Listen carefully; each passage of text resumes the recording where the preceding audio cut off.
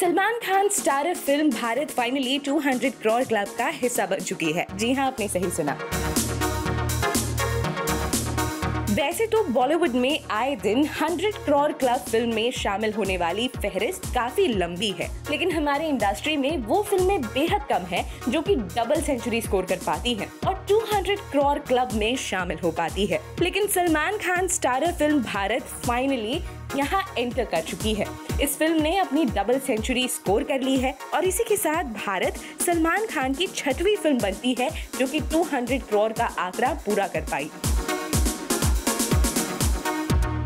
आपको बता दें कि इतना बड़ा आंकड़ा महज दो हफ्तों में इस फ़िल्म ने पार कर लिया है। इससे पहले सलमान खान की दूसरी फ़िल्में, जैसे कि टाइगर ज़िंदा है eight 339 crore rupees Bajrangi Bhaijaan at 315 crore Kick at 211 crore Prem Ratan Dhan Payo at 207 crore and Sultan at 300 crore इन सभी फ़िल्मों ने ये आंकड़ा पार किया है। इतना ही नहीं, साल 2019 में भारत वो दूसरी फ़िल्म बनी है जो कि 200 करोड़ का आंकड़ा पार कर चुकी है। इससे पहले इस मैजिकल नंबर को विकी कौशल की film Uri the surgical strike ने छुआ था।